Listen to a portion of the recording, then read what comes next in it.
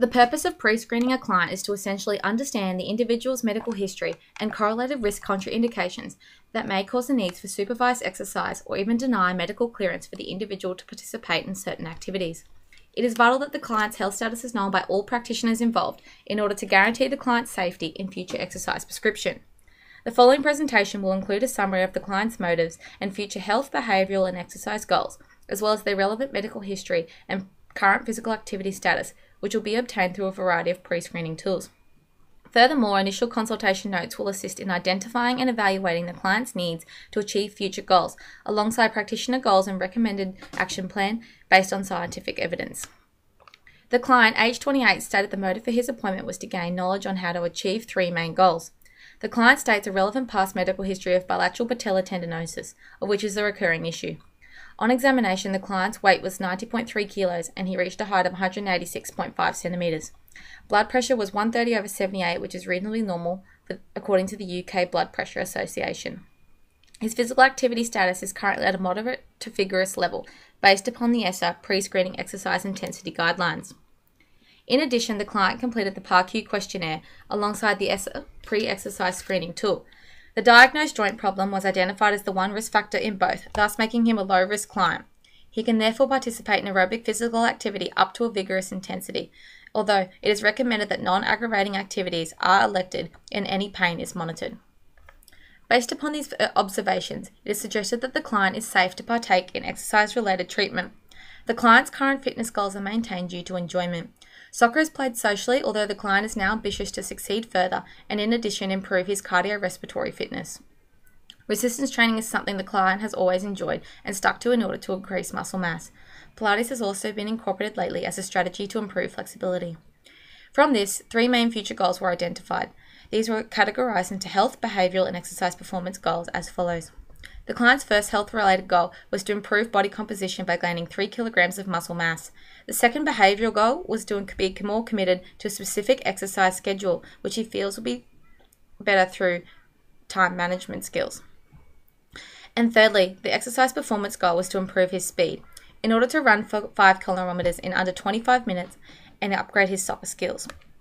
As a practitioner, it is important to facilitate further knowledge on how to achieve client goals, and so my aim is to provide the client with information that informs the further exercise prescription. This will include information on dropping body fat percentage, increasing strength, as well as providing recommendations on time management and inform a suitable trainer if needed. I will also recommend strategies on how he can improve his cardiorespiratory endurance to improve speed without affecting his muscular strength gains too much. Studies show that psycho- physiological and physical demands for a 5k run and soccer sets are similar. Evidence shows that midfield soccer players need to have maximal running speed and the lowest body fat percentage in the team in order to avoid excess weight during high intensity sprints. Although predominantly an aerobic game, anaerobic threshold has been shown to be highly correlated to performance in aerobic events, and so aspects such as body composition, cardiorespiratory endurance, and a balance between aerobic and anaerobic power are vital in evaluating successful soccer players.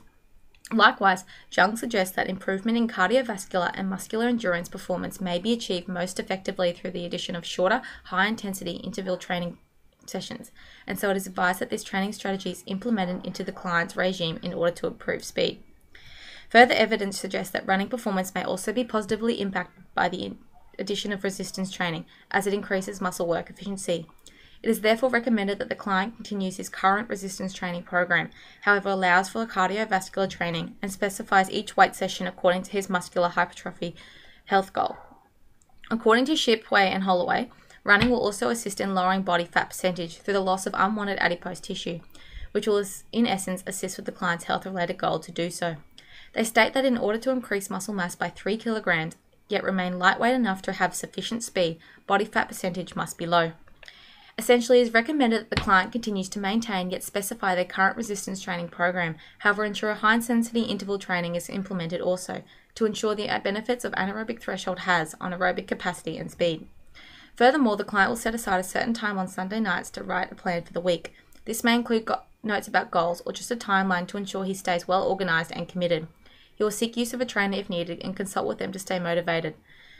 It is recommended that the client undergoes weight management and skin fold testing prior to the commencement of this new schedule, plus 8 to 12 weeks afterwards to monitor progress.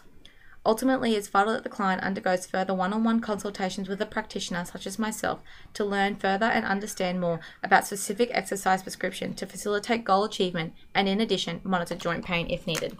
Thank you.